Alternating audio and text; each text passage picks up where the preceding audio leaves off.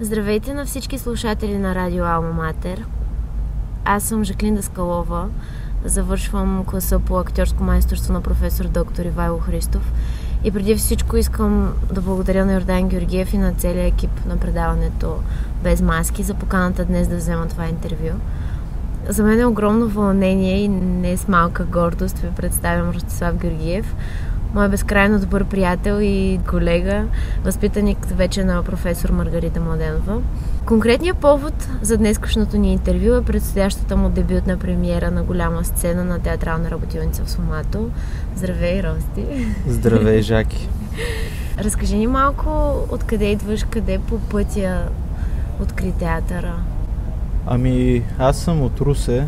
С театър не съм се занимавал като ученик 12 клас така реших, че искам да се занимавам с театър като единствена альтернатива, нещо, което единствено така ми беше интересно и на което бих се отдал. И започна така моите лутания в театъра. Първо кандидатствах актьорство, кукли, попаднах с теб, бяхме в един куклен клас при доцент Майя Енчева. Изкарах там две години, след това реших да кандидатствам режисура. Много труден процес беше на решението. Трябваше точно в тия две години се вземаше това решение за режисурата. И така, да кандидатствах при професор Маргарита Моденова и сега съм тук. Какво е да си ученик по режисура конкретно на професор Моденова? Ами, не знам. Малко ми е трудно да отговоря на този въпрос. Да, това е много интересно, защото аз, нали, тия две години, докато учихме кукли, така гледах почти всяка вечер театър, когато имах време, но така намирах си време и гледах много театър и започнах да си формирам предпочитания към определени режисьори, към определени автори, към определен тип театър и за голяма моя радост успях да попадна точно в този клас, където може би най-много бих искал да бъда. И така се стеха обстоятелствата, че когато реших нали, да кандидатствам режисура, точно професор Маргарита Младенова взимаше клас, успях с сетни сили да се добера до този клас точно и съм много благодарен за това, за тази възможност. Чудесно. Аз гледах представлението и премиерата ти с Данчо, с Йордан Георгиев и той ме помоли да ти предам няколко думи от негово име. Такива представления връщат надеждата ни в театъра.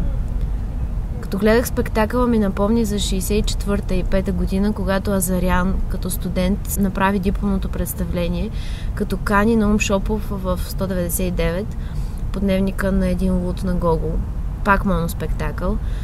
Сега това много ми напомни на тази история. Пожелавам на Рости същия път. Това е силно представление за един студент. Силно представление. Цецо дава много от себе си и прави една от най-хубавите си роли. Много ми харесва. В началото започва гротескно, напомня ми на Тодор Колев. Страхотно и вдъхновяващо. Дойдох без очаквания и си струва. Прави впечатление за голямо доверие от Цветан Алексиев към теб, Рости. Това са думите на Данчо след представлението. Ме беше помолил да ти ги предам. Благодаря. А Цецо ли беше първият ти избор за тая роля? Всъщност как се случи подбора, избора на текста? Как достигна до това решение, това да ти е едно дипломно представление и как да стигнеш ами... до този каст, до тези актьори? То първо не би го нарекал все още дипломно представление. Това реално започна като изпитната ми работа за втори курс Нали, ние в началото на втори курс започнахме работа върху Чехов. Първо участвахме в ателието на Сфомато върху Чехов и от там нататък и преподавателски екип и ние по тяхно предложение решихме да се заемем с Чехов, понеже вече започнахме да навлизаме в тая територия и ни беше много интересно. И след няколко опита да. за други неща, нали, първо Идеята беше да се занимаваме с горски дух, една много ранна чехова пиеса, която е като чернова първообраз на голямата пиеса Войчо Ваню. Идеята беше четиримата режисьори от нашия клас да поставим по едно действие така да сглобим цялата пиеса, но по една или друга причина този проект просто отпадна за това, че много актьори бяха нужни, нали, тя е голяма пиеса, тя е като Войчован, даже с повече персонажи, около 12 персонажи. И така и след това стигнахме до решение заедно с преподавателския екип да се захванем с едноакните пиеси на Чехов. И тук за голяма моя радост аз можах да си избера и да защитя точно Лебедова песен, една пиеса, която от доста време ме вълнува, ме интересува. И не съм си представил, че още като студент ще мога да посегна към нея, предвид това, че тя е невъзможно да се постави с актьор, студент. А, нали, най-често ние студентите си работим с наши колеги.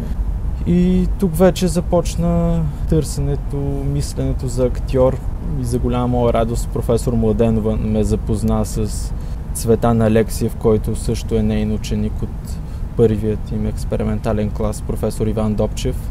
И така започна само като изпитна работа, която пък заради пандемията и първата карантина беше отложена за неизвестен период от време. Случи се лятото и след изпита с Цецо си говорихме, че и на него му е интересно, и на мен ми е интересно да работим това. И решихме да разширим малко самата пиеса на Чехов, като добавим текстове, които на нас са ни интересни и естествено по никакъв начин да не нарушаваме идеята на Чехов и основата, която е заложена в пиесата. Аз направих един груп нов драматургичен вариант с определени текстове, предложих ги на Цецо, започнахме да работим от начало почти цялото нещо на маса. Той се включи също с много интересни предложения, текстове, които той много харесва, което за мен и за него също беше много важно, защото нали, това е заложено и, и от Чехов, че този актьор Светловидов, който остава след бенефиса си, след последното представление в празния театър, играе точно ролите, които винаги е мечтал да изиграя. По една или друга причина не му се отдава тая възможност. И затова много искахме да присъстват такива текстове. Дали Цецо ги е играл или не, да. нали, не е от голямо значение. По-скоро важно беше да са много важни за него текстове. И така, да споменем, че участва и да, още един да актьор питам, да. от класа на професор Иван Добчев. Новия клас. Новия Последния. клас, да, които сега са втори курс. Да. Димитър Василев, също много интересно младо момче, актьор. Може да го гледате и в Апокрив тяхното представление на класа, което също се играе в Сфомато под режисурата на професор Иван Добчев. Чудесно. Аз а, искам да те питам нещо. Аз винаги като си репетираме нещо или като играем, имам представления, в които вътре си намирам, някакси има изречения, които звънят. Има реплики, които малко или много по някакъв начин чакам да дойдат. Исках да те питам, коя реплика от представлението ти звъни, коя реплика чакаш и свързваш представлението с нея? Да. Аз по-скоро мога да ги сложа като, как да кажа, реплики, опозиции, защото ако избера една, по-скоро в една плоскост би поставила цялото представление, но тия скокове на Светловидов от Изпята е моята песен, Изпята е и пътя до следващата реплика, където има изкуство, талант, там няма старост, няма болести, нито болка, нито самота и самата смърт не е страшна. Мисля, че могат да обединят цялото представление, да кажат някакви по-големи смисли, нали, път, който се изминава от дъното нагоре. Мислиш ли вече за следващите текстове за дипломните ти представления?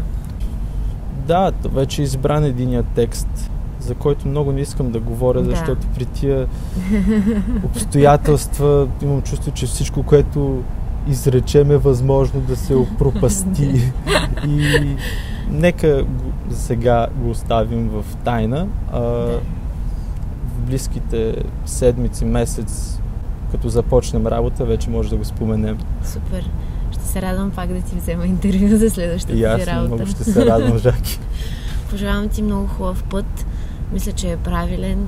Надявам се да е много успешен. След такъв смисъл и такава дълбочина да има в работата ти. Благодаря ти за представлението, за опита и за това интервю.